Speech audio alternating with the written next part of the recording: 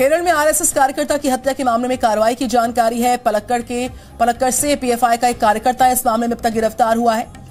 15 नवंबर को हुई थी आरएसएस कार्यकर्ता की हत्या। मामले में आगे की जाँच जारी है। पलक्कड़ पुलिस ने कहा कि इस पूरे मामले में जाँच की जा रही है। तो केरल में आरएसएस कार्यकर्ता की हत्या के मामले में कार्रवाई की खबर इस वक्त मिल रही है।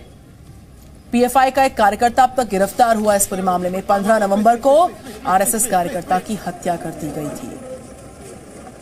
Presenting the News app available on Google Play and App Store. Download it now.